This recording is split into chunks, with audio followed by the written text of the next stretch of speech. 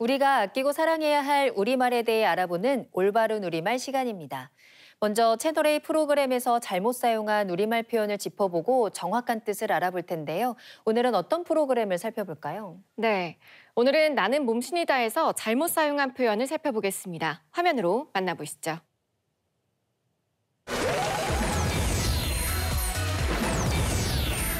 준비 동작으로는 양쪽 발 뒤꿈치를 붙인 상태에서 지난 발 방송에서는 몸신에게 발레 동작을 배워보는 발 출연자들의 모습이 비쳤는데요. 엉덩이의 긴장을 항상 유지한 어, 여기가 상태에서 영 그래. 엄청 그치 그치. 이 과정에서 지릿지릿이라는 잘못된 표현이 사용됐습니다. 네. 발레 동작을 따라하던 중에 다리에 저린 감각을 느낀 출연자들의 모습을 두고 지릿지릿이라는 자막이 사용됐는데요. 틀린 표현이죠. 네, 지릿지릿은 사전에 등재되지 않은 표현인 만큼 여기에서는 두 가지 표현을 쓸 수 있는데요. 뼈마디나 몸의 일부가 매우 또는 자꾸 저린 느낌을 나타내는 찌릿찌릿 또는 매우 또는 자꾸 저린 듯한 느낌을 의미하는 저릿저릿으로 써야 맞는 표현입니다. 네.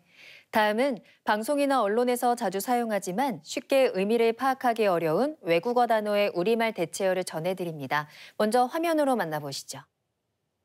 한국 유니콘 기업의 쾌거, 유니콘 기업을 꿈꾸는 스타트업의 포부를 1조 원 이상의 기업 가치를 가진 스타트업을 육성하는 게 목표라네요. 네, 오늘 준비한 단어는 바로 유니콘 기업입니다. 보도에서도 종종 접하게 되는 단어인데요. 먼저 유니콘 기업의 정확한 뜻부터 짚어볼까요? 네, 유니콘 기업은 기업 가치가 10억 달러 이상인 신생 기업을 뜻하는 단어인데요. 상장 전에 기업 가치가 10억 달러에 달하는 것은 유니콘처럼 상상 속에서나 있을 수 있는 일이라는 의미를 담고 있습니다.